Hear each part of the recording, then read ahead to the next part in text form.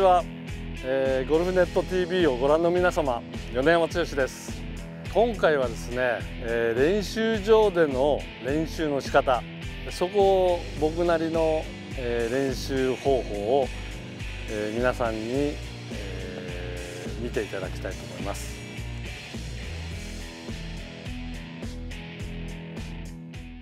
飛距離っていうのはものすごく大事だしそのアドバンテージになるのでやっぱり距離を出すっていうことはすごい必要なことだと思うんですよ。でも飛距離ばっかりを求めてるとスイングプレーンとかそういうのを無視されがちなんですね。だからそのスイングプレーンができた上でのヘッドスピードをつけるそこをやっぱりやんないとダメですよね。うん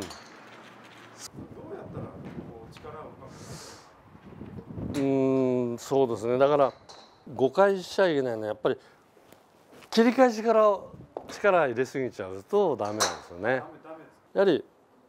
この辺は大事にこう下ろす。でここから力を入れていく。なぜね切り返しから力を入れちゃいけないかっていうと力を入れました肌がかぶってくるんですよ。ここを開かない最大限の力を入れないといけないですね。うん。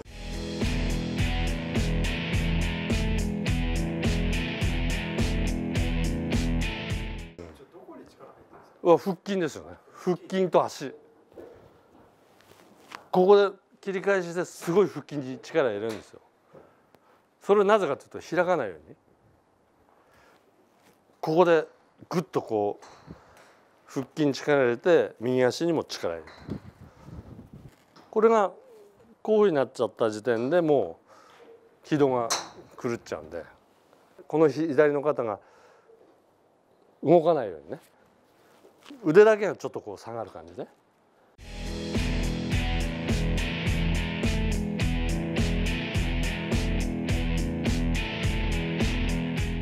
だそこミート率がいいってことは軌道が安定してるってことだから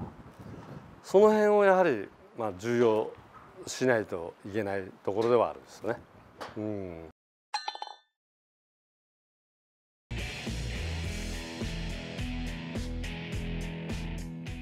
では次はアイアン編で、えー、まあアイアンとドライバーが何が違うかっていうとドライバーというのはこうティーアップされたボールを打ちますよねアイアンというのはこう地面にある球を打つのでボールポジションというのがすごくこう大事になってくると思うんですよ。まあ例えばドライバーは左足かかと線上にあることがまあ理想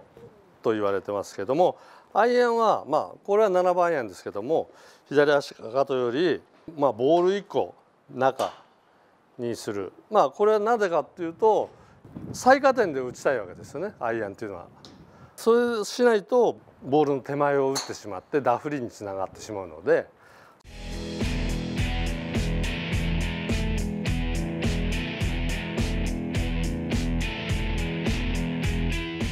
じゃあ打ってみましょうか。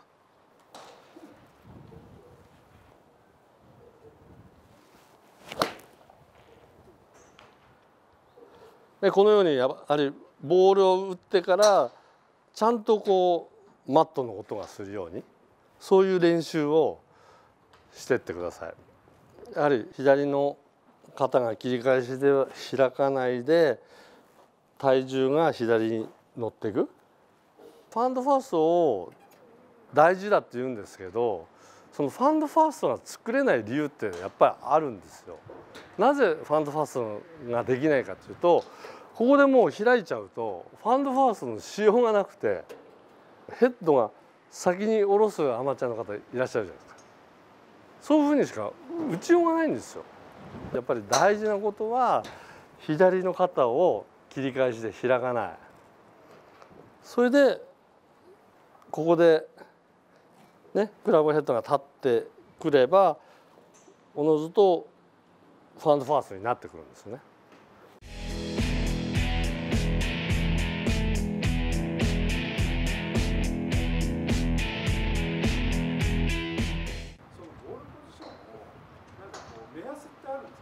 うんその辺はやはりご自分で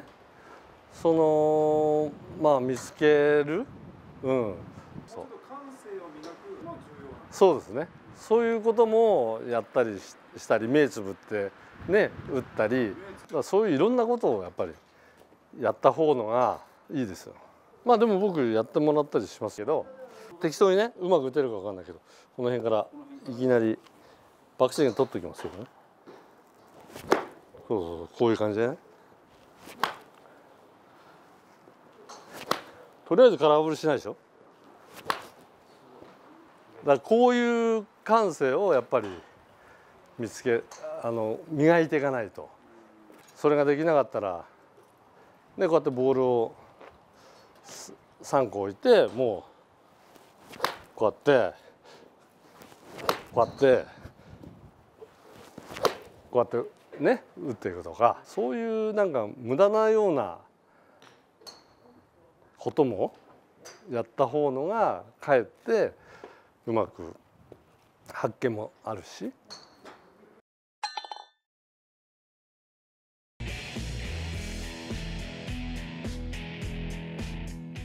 まあドライバーも基本的にスイングはね一緒なんですよ。ドリルっていうのをこう最初にややりますよね。いきなりこうフルスイングじゃなくてスイング軌道を確認しながら10発ぐらい。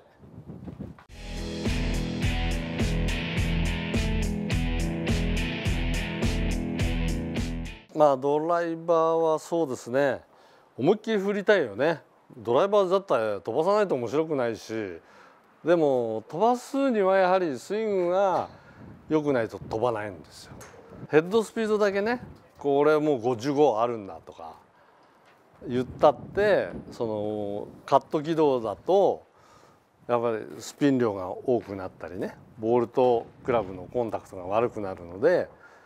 まあ、ロスするわけですよね。だから数値だけ見ていいっていうわけじゃないので飛距離に比例してるわけじゃないからよくアマチュアの方にねあのワンポイントアドバイスとかさせてもらう時にスライスばっかり出る人いらっしゃるんですよ。っていうのはもうボールに対してその最下点に当たってしまったり少し最上点になる時に当たるのをイメージできてないんですよ。そういう方はねまあ左かかと線上じゃないですか。ここに従来ヘッドを置くんですよ。それ少しボールをね1個左へ置いてもらってヘッドを1個分ぐらいのところに構えてもらうんですよ。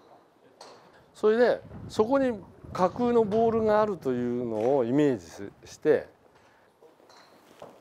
通してあげるそうすると意外といい球出たりする時があるんで。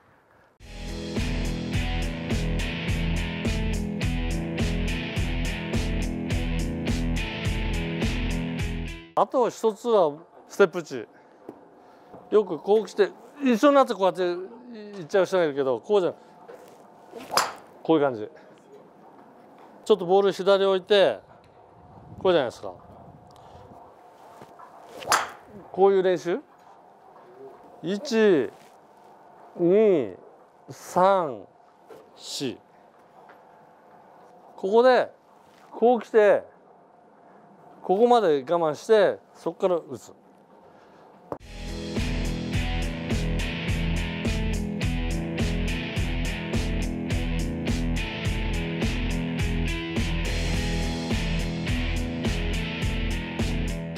そういうのもなんか